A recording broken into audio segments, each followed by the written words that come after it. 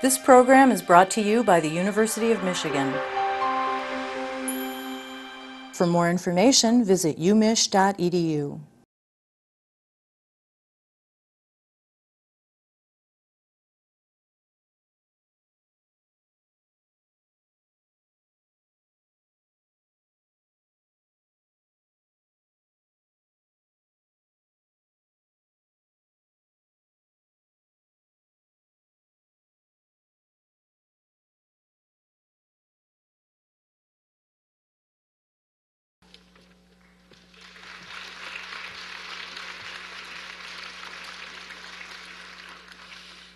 Thank you and good afternoon.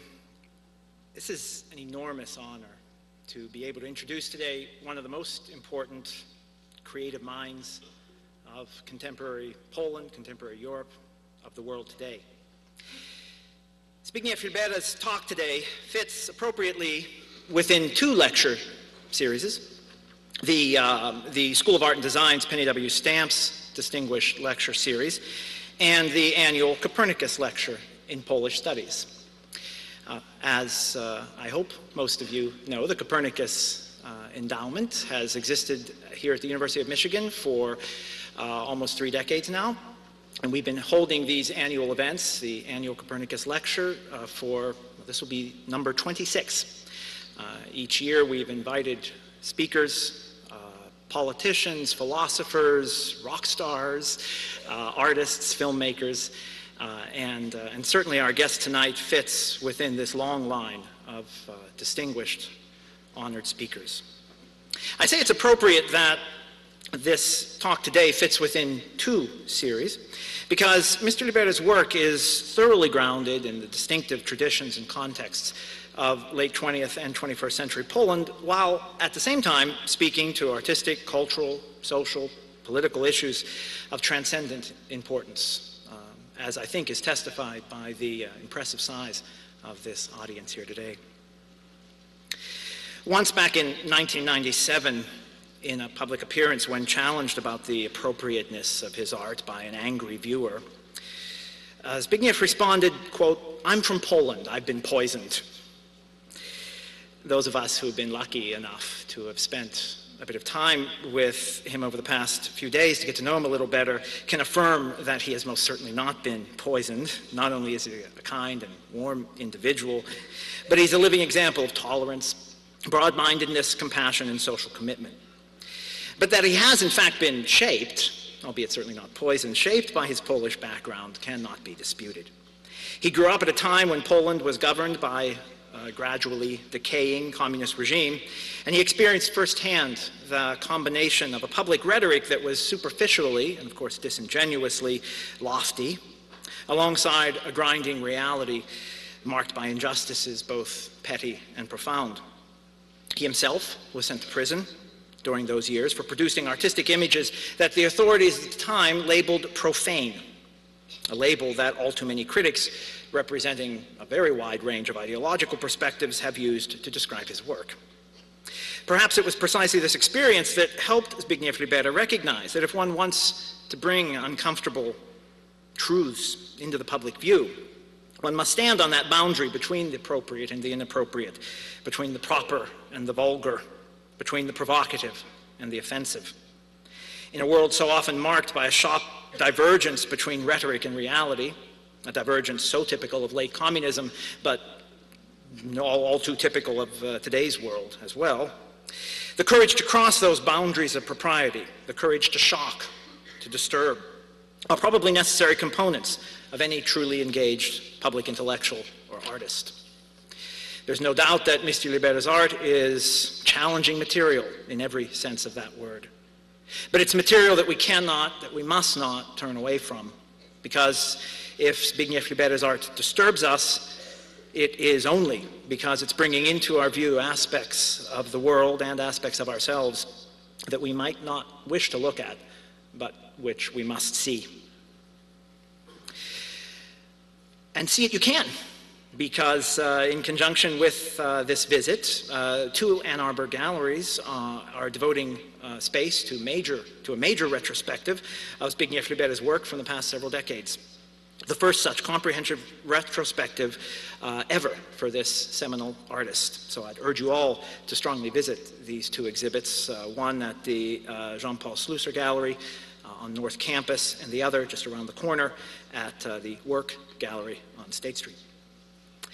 Before I turn over the microphone to our guest, I want to take a moment to thank all those who have made this possible, bringing uh, all this great art from Poland setting up the two exhibits, arranging today's talk, organizing the symposium that will be held tomorrow afternoon that you just heard about. All this required an enormous, uh, really unprecedented collaboration between a wide variety of University of Michigan units and significant financial contributions from uh, uh, an array of sources. So we all need to thank, in particular, the primary sponsors of these two events, uh, the, the, primary two sponsors of these events, the University of Michigan Copernicus Endowment for Polish Studies, and the School of Art and Design's Roman J. Witt Visiting Faculty Program and Penny W. Stamps Distinguished Visitor Series. Additional support has come from the U of M Center for Russian and East European Studies, the College of Literature, Science, and the Arts, the International Institute, the Office of Vice President for Research, the Center for Contemporary Art at uh, the Ujazdowski Castle in Warsaw, the Fundacja Sztuka i Współczesność in Warsaw, the Ministry of Culture of the Republic of Poland, and the Polish Cultural Institute of New York. As always, we are deeply indebted to the organizational and administrative mastermind who brought all this together, uh, Marysia Ostafin. And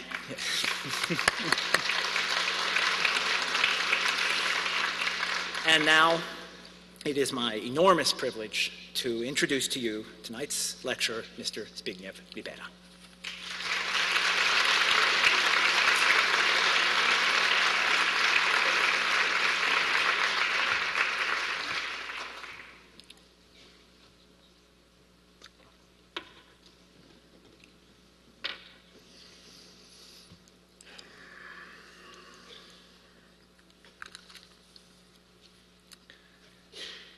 Good evening, ladies and gentlemen.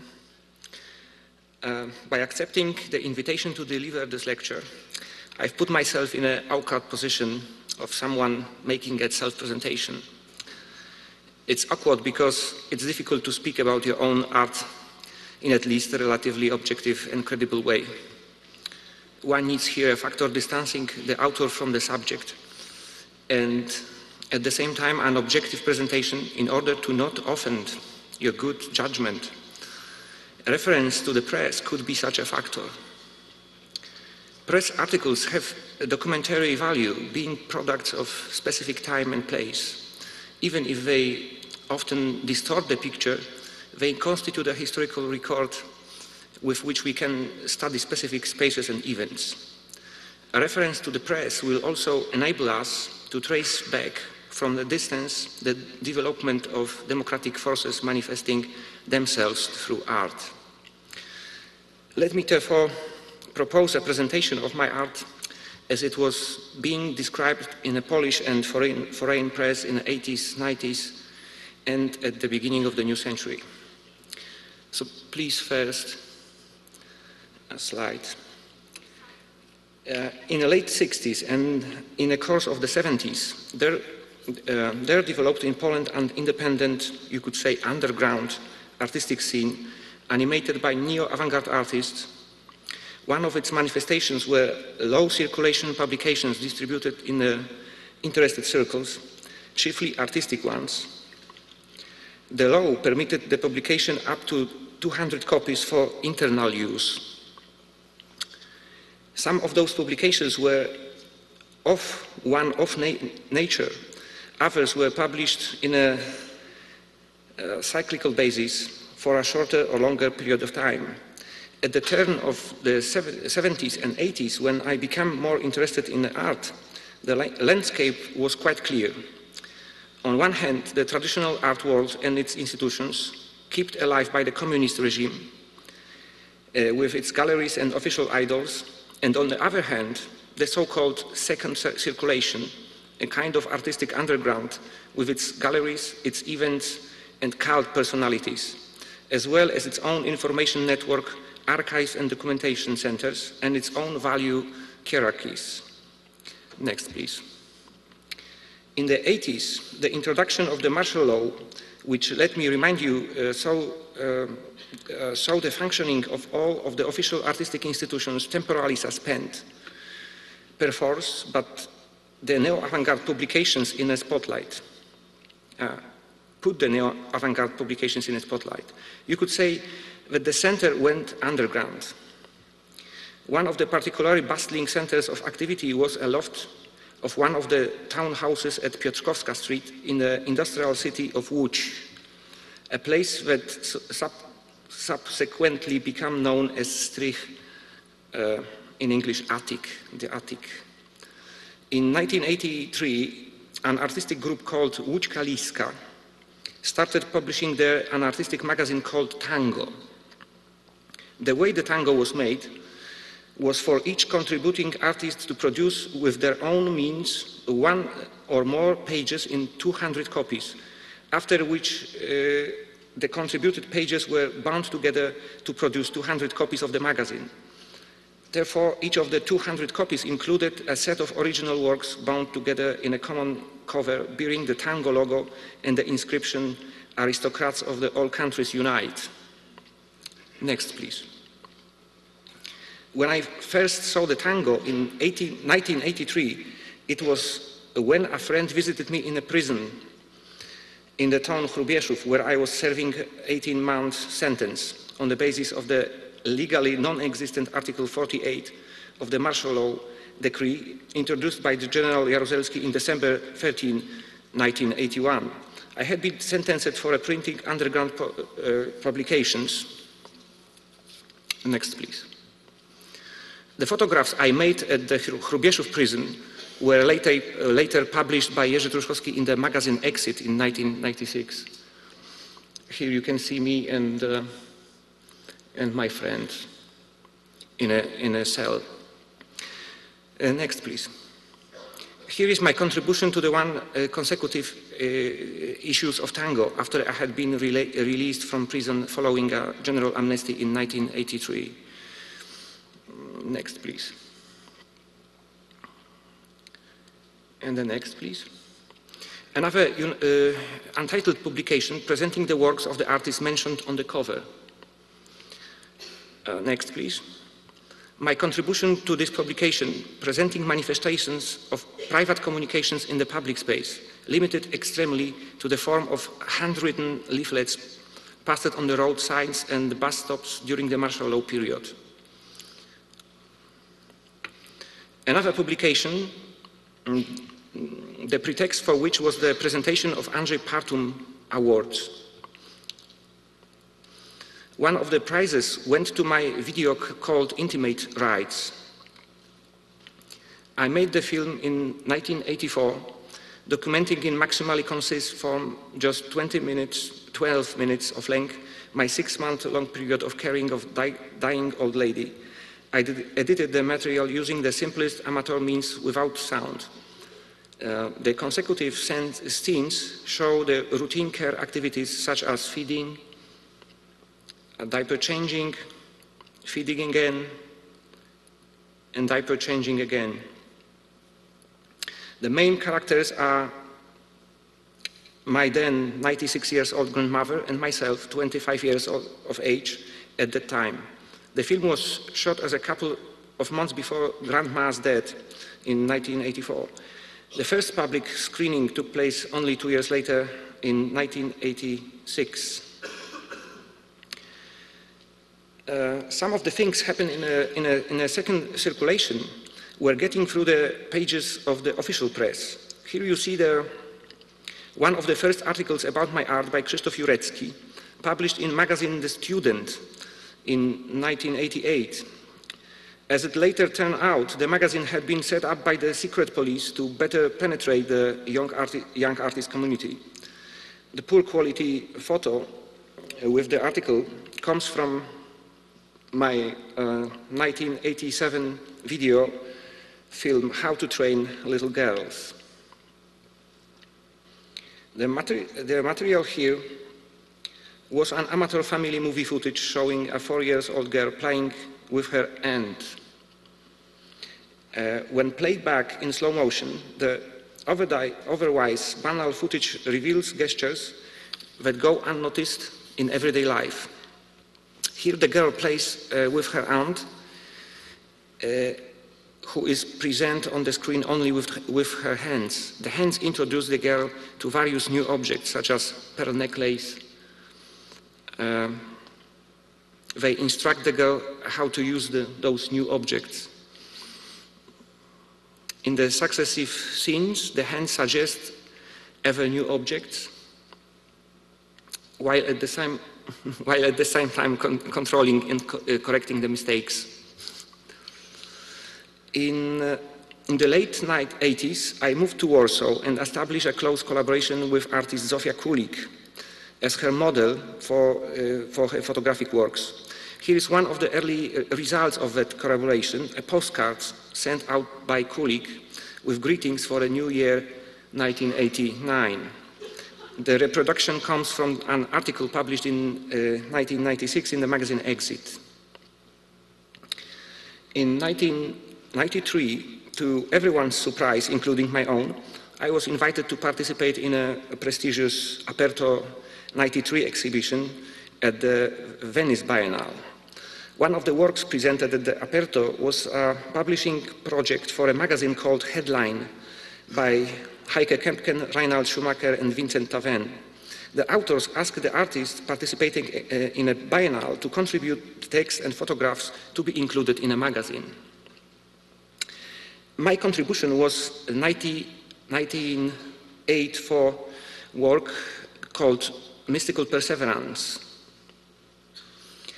The video comes with the following text. The recorded activity is of magical and mystical nature independent of any known form of religion, magic, or art. It neither builds or upholds any system. It takes place daily, irrespective of the current state of political, social, cultural, financial, official, and unofficial affairs. It takes place always in one at the same place, and it's always experienced by one and the same person, the sick, blind, and bedridden Regina G. My presence was accidental, and went unnoticed by the experience, experiencing person. The recorded action is the major element of in Regina G existence. Apart from a mental activity, it is the only thing she can do by herself. It is her only form of contact with the outside world. The activity originated in a ritual of saying the rosary prayer, which eventually took another form, that of rotating the rosary around the neck. After a time, Regina G changed the direction and the way the rosary was rotated, which resulted in a loop around her neck. So the rosary, as a dangerous thing, was taken away. Its place was taken by the first object at hand, which happened to be a chamber pot. The recorded activity consists in persistent turning of the pot around its axis, while at the same time it retains it, its primary function. Depending on the need, it becomes either a medium or a receptacle for excrements. Since 1990, the work has been presented in a form of installation using the original furniture and the medicaments left by the uh, Regina G. Uh, the work uh, has been also presented in the US as a part of the exhibition Beyond Belief at the MCA Chicago and also at the ICI Philadelphia. In 1996, the pop culture magazine Machina, as the first of, of its ilk, included contemporary art in its scope of interest. Thus, my name appeared on the cover next to that of Michael Jackson. Especially, especially uh, for the purpose or on the occasion of the presentation of my artistic pra pra practice, the magazine created a new section called Public Enemy Number One, the interview uh, conducted by editor-in-chief Bogna Świątkowska was followed by photographs of works of the Corrective Devices series, which were on display between June, uh, September 1996 at the CCA Ujazdowski Castle in Warsaw. Uh, next year, 1997, the Norwegian newspaper Dagbladet published a text and photographs report on corrective devices exhibition at Oslo Gallery Wang.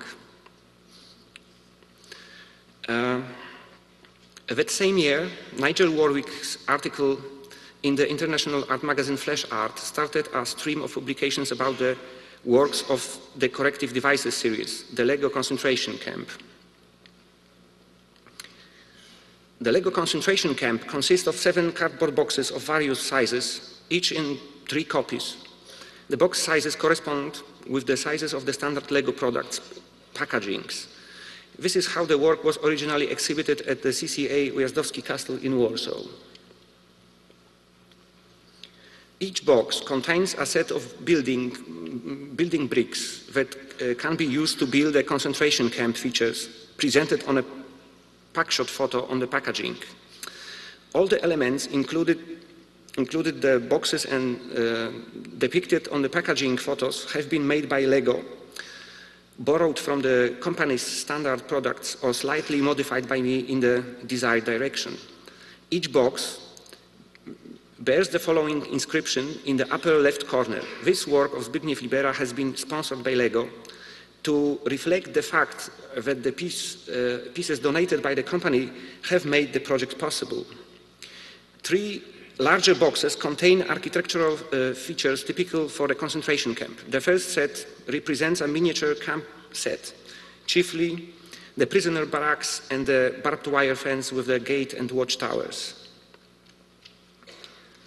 Uh, characteristic roofs of the barracks and watchtowers required a special stylization in the spirit of the simplified synthesis typical for LEGO products.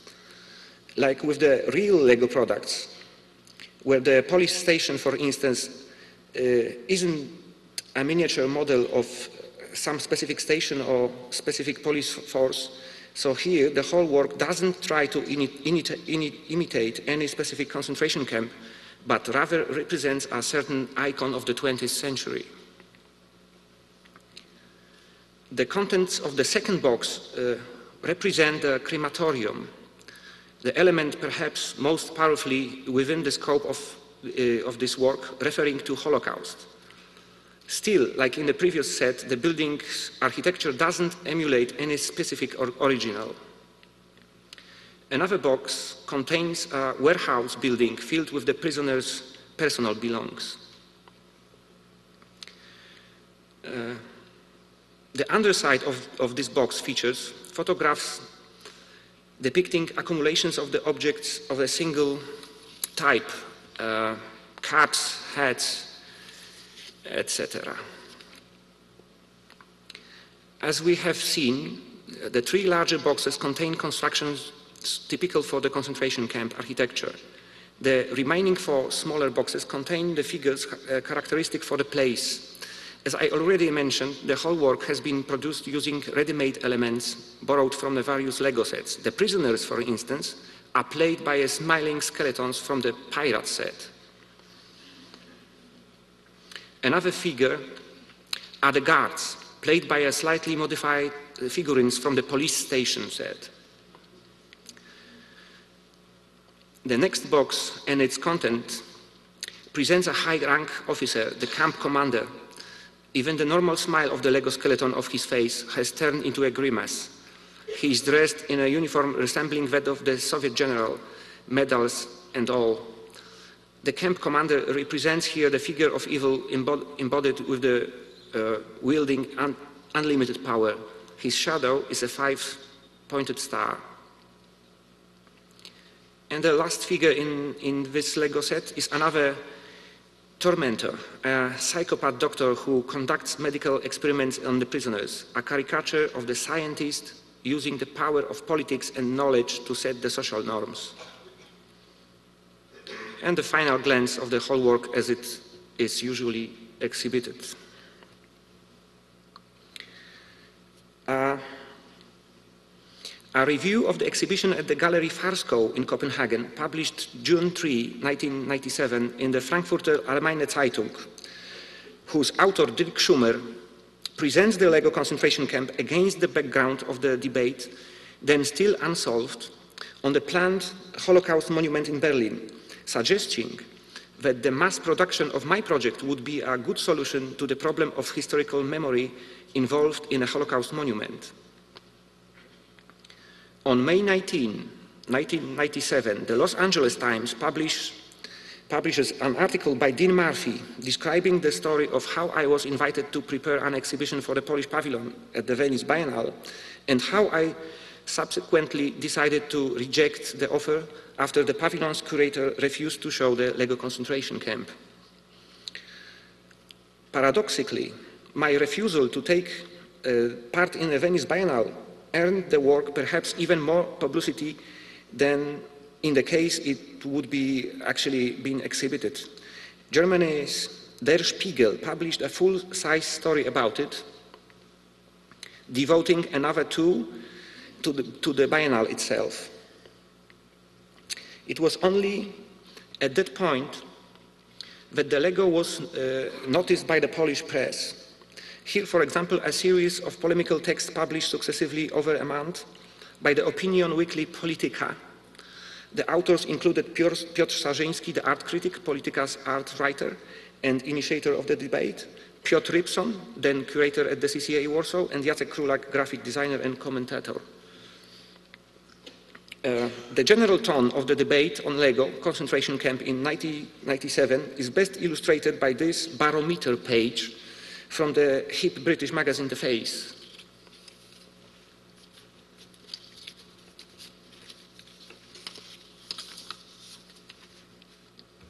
Next year, I showed the correcting devices at the Guy McIntyre Gallery in New York's Soho, as, as mentioned in Gregory Volk's article in Art in America number 3 from 1999. Uh, the photo shows my work, The Doll You Love to Undress from uh, 1998. This exhibition is a good opportunity to present some of the other correcting devices. Here is a Ken's, Ken's End, a doll made in 25 copies. Ken's End, the way it is presented in the galleries. Another work is called Body Master. It is a playset for nine years old boy uh, that is in fact a copy of an adult weight trainer. The only difference are very light weights made out of paper. The device come with a human, uh, a human, a human stand cut out uh, depicting a hypothetical muscle development of the boy that age. In reality, such a muscle build-up would be impossible or would result in a permanent physical disability. The use, however, of a paperweight means it is safe for the Bodymaster users to play bodybuilding. And finally, placebo, made to my order at the pharmaceutical plant, a medication in a form of suppositories. The medication was made in a series 550 units, each unit contains four placebo suppositories. The following years, meanwhile, were not too proof favorable for uh, art in Poland. Here is a famous movie actor Daniel Olbrychski spectacularly ruins his own image from a movie where he played an SS man, part of Piotr Uklański exhibition, The Nazis. The photo is from the 19 November 2000 issue of the daily newspaper Życie Warszawy. Here in turn, Witold Tomczak, deputy to the Polish parliament, ruins a work by Maurizio Cattelan exhibited at the Zachęta National Gallery, as documented by, documented by the Super Express photographer Piotr Grzybowski in the tabloid daily December 22, 2000 issue. The conservative press started carrying uh, numerous articles aggressively attacking contemporary art and, uh, and, the artists. In 2000, shocked by the rhetoric of those texts, I compiled quotes taken from 16 different articles into a text that I called also a quote from a conservative uh, newspaper, Art's Cold War with the Society. The, next, the text constitutes the theoretical framework for an exhibition presenting the practice of artists most fre frequently commented upon the conservative press. To spare you the ingestible mixture of slogans, dog, dogmas, and myths, let me read to you only two characteristic fragments. I quote now Let's start with the question how did it all begin? In the 18th century, as church authority collapsed, the new type of mentor emerged, willing to fill the gap and, again, and gain influence over the pub public. This, the secular intellectual could be a deist, a skeptic, or an atheist, like a bishop or a parish priest. He was prepared to patronize humanity on how it should live, how it should live. And so the Enlightenment at, the time of school polishing in Poland, the monitor with its circle theory, uh, the father from Warsaw, the greater, uh, the obscurantism. Let's, let's go there with the mission of opening up the minds by passing of knowledge from the wiser patriots to the less wise interlocutors. No, gentlemen, you won't polish us. You've been pursuing your mission for 200 years now, and you are still alone. Only the titles have been changing in which you publish your letters to humanity from Monitor to Gazeta Wyborcza. And the other quotation. Uh, today, the progressive artist is at best a kind of politician, commentator, or worker. Ethereal substance has transformed into a flesh and bone. Since, since that time, the artist has been uh, subject to the vulgar pressure of the public opinion, savoir-vivre, and the penal code. And in the meantime, the death penalty is revoked because men of progress have very sensitive hearts for those who have erred. And the last one. I don't want my taxes to be spent on Łaźnia Gallery in Gdańsk. Uh, just I wouldn't like them to be spent on gay clubs or Rolling Stones concert. This is not prudery, or but just protest against the relaxation of the social norms, said Joanna Fabisiak, deputy of the conservative Solidarity Election Action. The exhibition Cold War took place at the Krakow of the Theatre, Łaźnia, uh, Theatre Association, and as uh, as was to be expected, was chiefly commented upon the bourgeois press. Uh, a, a report from the exhibition featuring interviews and artist photo on the front page of the Gazeta Krakowska Daily.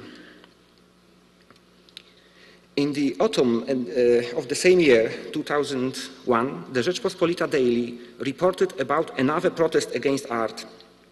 This time it was the Pauline monks at the Jasna Góra monastery in Częstochowa who were protesting against the exhibition Irreligion, organized by the Gallery Atelier 340 in Brussels. Uh, the quote from, from this article The exhibitions are to show the attitude of Polish artists of the last uh, 50 years towards religion. The exhibition features works by some of the most outstanding artists, such as Władysław Hasior or Bronisław Linke. Part of the exhibition, including some of the shocking works, are presented in, at two churches in an effort by the Belgian church to demonstrate its openness and willingness to dialogue. The Polish Pauline monks, in turn, are outraged both by exhibition as well as by London fashion show by the controversial designer Arkadius, uh, where the images of Christ, Holy Mary, and religious symbols were displayed in a blasphemous way. And here is my uh, uh, work, Universal Penis Expander from 1995, presented at the Notre Dame de Lourdes Church in Brussels as a part of the Irreligion exhibition. One of the direct results of the Pauline protests, it didn't even take any higher instance intervention, was the dismissal from the di position at Warsaw's uh, National Museum of the exhibition initiator and curator uh, Dr. Kazimierz Piotrowski, as well as his assistant Piotrowski, uh, Piotrowski, as well as two other artists whose works had been uh, commented uh, as a particularly blasphemous, were proclaimed as blasphemers at the Polish Episcopate, Episcopate's official letter during Sunday masses at church, churches across Poland. And finally, a case that would merit a lecture of its own, for which we obviously have no time here.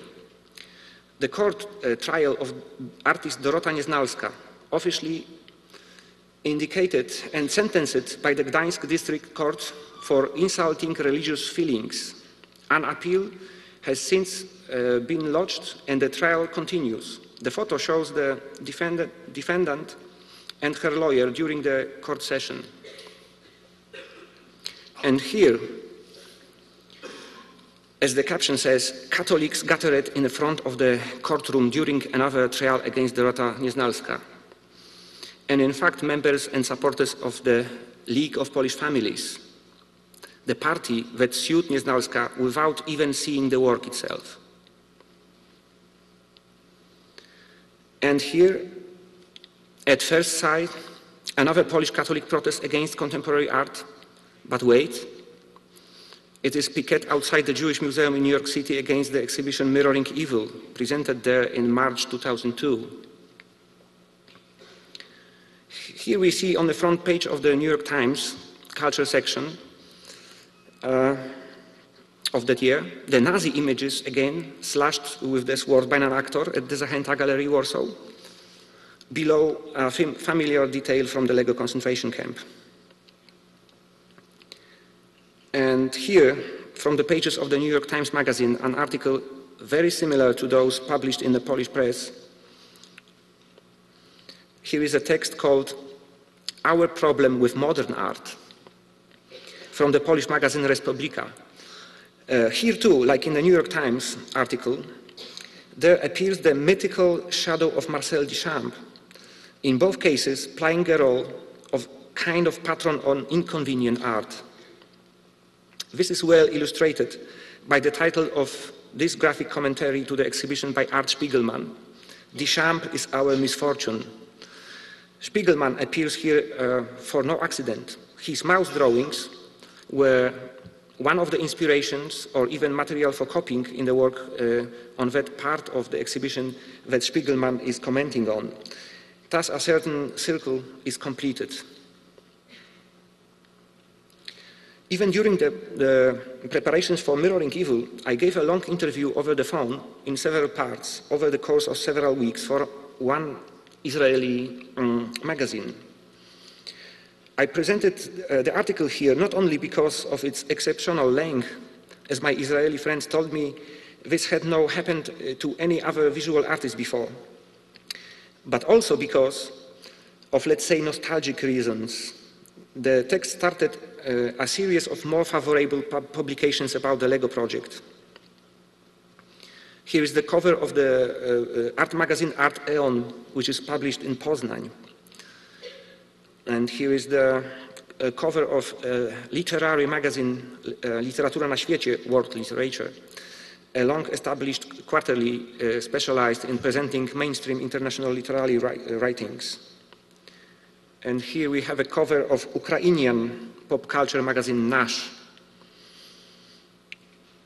In 2004, the influential opinion weekly Polityka publishes a ranking of the most important cultural events since the democratic changeover of 1989, ranking Lego concentration camp in the second place. Uh, the first place was awarded to, to emergence of private auction, auction houses in 1989. Here is the Lego.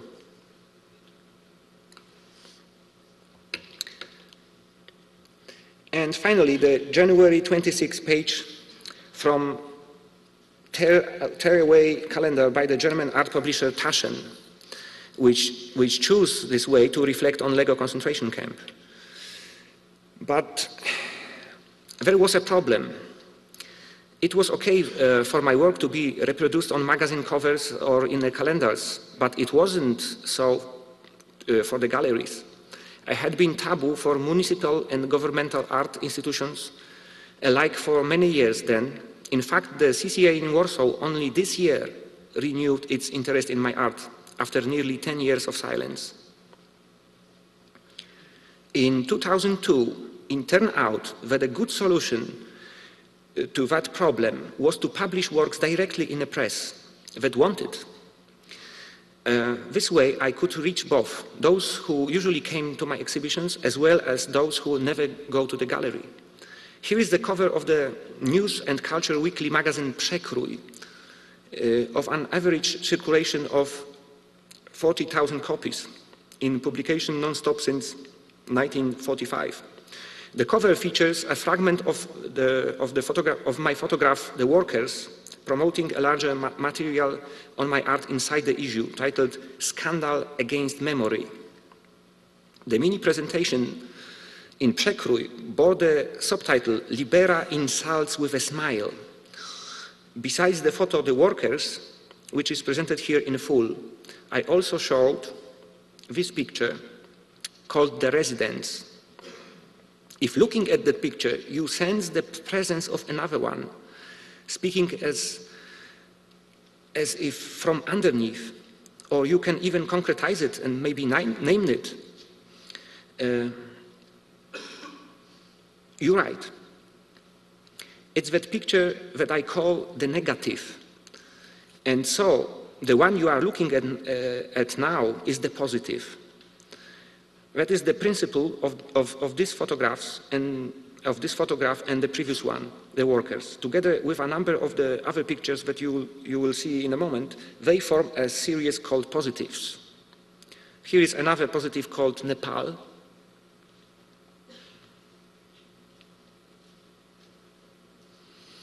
Uh, I think that not, that not everyone recalls the negative, which is what I call the original.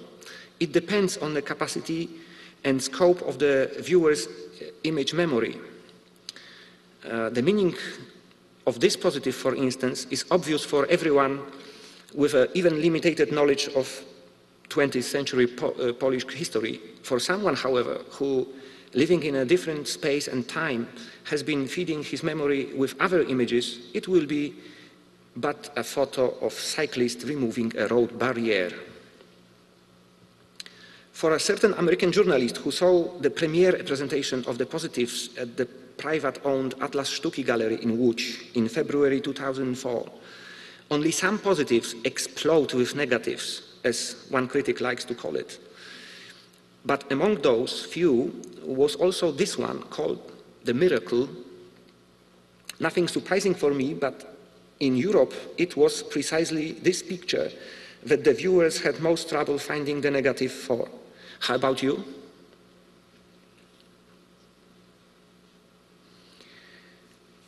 The last picture of this series is the positive of the 1976 uh, photo called return from Entebbe Ben Gurion Airport, uh, made by Misha Baram. For the second time, the positive appears on the cover of Przekrój. This time, however, the date and the historical context are important. It is April 13, 2003, two days after US tanks rolled into Baghdad. A caption explains in small print, this has no, not really happened and in larger print, it's only Bush's dream. Despite those assurances, it did really happen. And uh, that was thanks to the magazine's marketing machine that for a week made the photo omnipresent in billboard form uh, in the public space in, of the Poland's largest cities. And here we see the building at the De Gaulle Square in the very center of Warsaw, with a huge blow-up of the Przekrój cover. And one of many light boxes installed at, at the Warsaw's, uh, Warsaw's bus, bus stops. And here we have another photo from the session showing Arab women welcoming US soldiers, were given the layout typical for Przekrój's news section and making it easy to mistake, uh, mistake them for the real ones. Uh, the last series of works I'd like to present to you today is called The Masters. The series con uh, consists of five press articles from various influential Polish newspapers and magazines, except one which, which go, uh, uh come from 1983, all come from the 90s and the beginning of this century. The articles present in a form of interviews or critical texts the profiles of several outstanding artists of the Polish neo-avant-garde movement of the 70s. Outstanding not only uh, in my view, uh, though those are in fact my artistic masters, Um, taken together, they form a narrative about the time and the various communities and their problems, and also about art itself, its achievements, and their impact on the present. The catch is that those articles have never been really published, and their protagonists remain relatively obscure and unappreciated. What we see here is the double page spread from the weekly magazine Polityka with an article about unusual art of Anastasy Wiśniewski. Let me quote. The Zachęta exhibition restores to collective memory of the Polish avant-garde of the 70s. Without its protagonists, artists such as Anastasy Wiśniewski, art would have uh, to this day been stuck in the in the chains of sterile, far from the uh, life formalism. Like the article itself, which in fact has never been published, so the exhibition confirmation cited in, in, in it has never really taken place, nor has the art of Anastasy Wiśniewski so far been granted the honor of critical analysis and presentation to the broad public. The next article from the Gazeta Wyborcza's weekly magazine supplement starts on the cover Contemporary artists have not been honored this way in a Polish press before. The interview with Jan Świdziński, entitled Art in the Context of Kurpie and New York, is preceded by following introduction. Jan Świdziński is an artist and theoretician who has earned a place in the history of international art. This year, he celebrates 20th anniversary of formulating the principles of, of the so-called contextual art. Next week at the CCA in Warsaw we'll open a retrospective exhibition of Świdziński work, accompanied by the International Art Seminar of Contextual Art. Like in a previous case, the exhibition and the seminar never really took place, and the interview itself was fake too. The text for, for this and the other articles were written on the basis of existing and already published genuine interviews or were written to, uh, in accordance with professionally uh, consul, uh, consulted knowledge specifically for this project.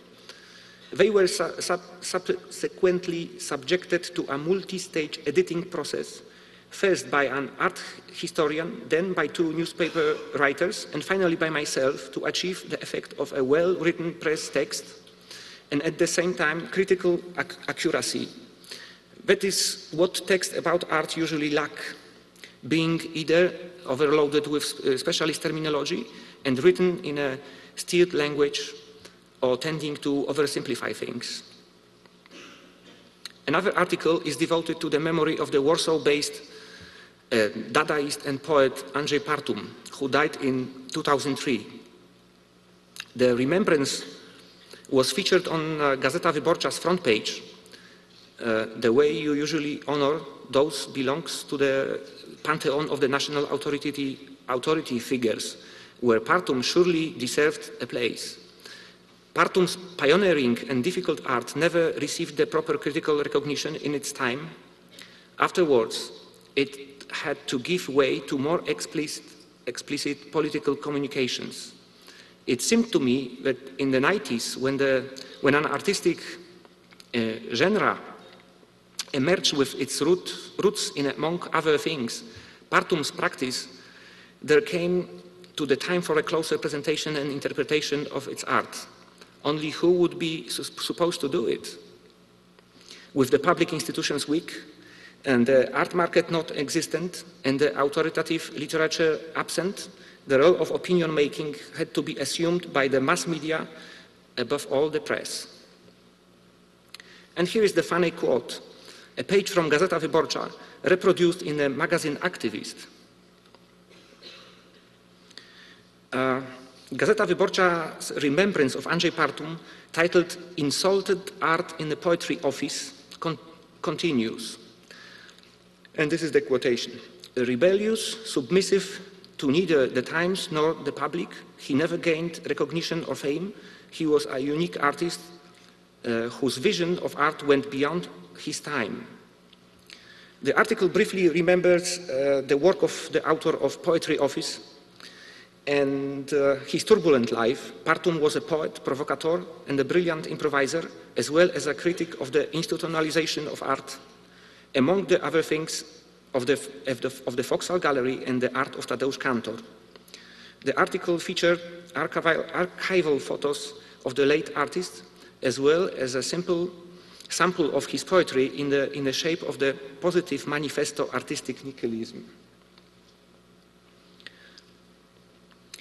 A 1983 issue of, of the Trybuna Ludu Daily, a communist uh, newspaper, in, the, in the In the City section, reporting on the weekend's cultural events in Warsaw, next to an article on painting uh, and the graphic arts in the DDR, which is here,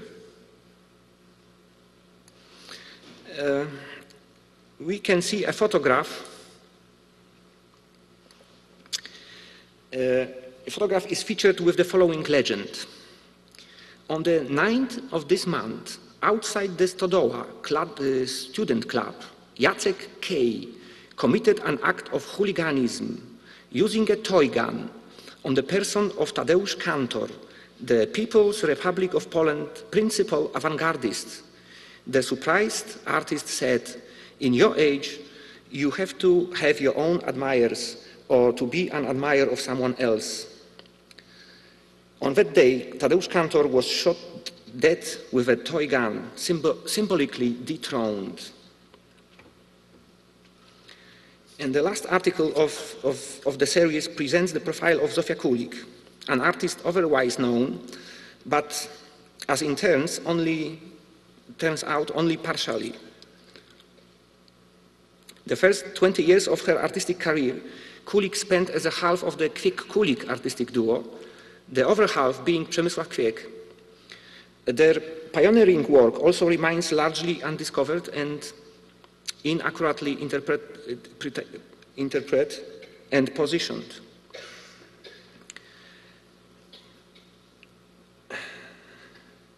As be, uh, befits an article in a genuine newspaper, this article, like several of the others one, of other ones, features advertisements, which you have surely already noticed. As it's easy to find out, those are genuine, genuine ads, which in fact helped to finance the project. Here you see an, an ad for an upmarket Warsaw hairdresser franchise. In the other cases, the ads were for global brands like Nokia or Mercedes.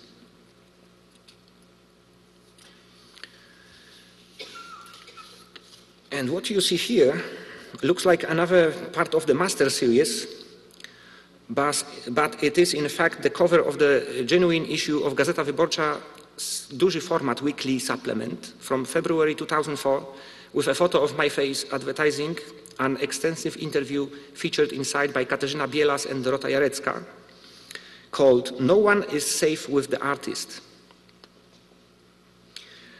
Uh, having inter in, interpreted the masters as a proposition, the Gazeta initiated on the pages of its duży format and woman-orientated Wysokie Obcasy weekly supplements a series of larger texts presenting the profiles of contemporary artists. Following the one about myself, there are also appeared texts about Zofia Kulik and Katarzyna Kozyra.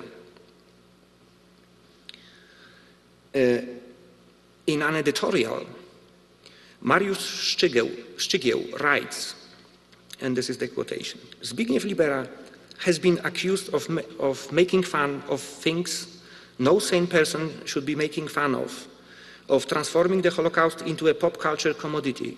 And yet, his work was precisely, precisely a warning that such a thing happening. The game of evil is being played in our, uh, in our homes with the TV remote control. of a dinner, we switch from the site of mass graves in Iraq to that of the terror victims in Jerusalem. Zbigniew Libera is an example of, of art's critical commitment. Few appreciate that in Poland. And after the Lego uh, concentration camp, no state gallery wanted to talk to Libera anymore. In the interview, Libera says that every society needs someone who can do things the ordinary citizen is prohibited uh, from doing. Like the scientist, the artist is allowed to experiment and transgress. As the creative factor, uh, he or she has the right to do it, even if no one has given it to them on a paper. It's an unwritten social agreement. I hope you will also make such an agreement with Zbigniew Libera. The end of the quotation. But I think it could also be argued that this right should be extended to all of us, not just only artists. And ending this lecture with these words, let me once again thank you for your attention.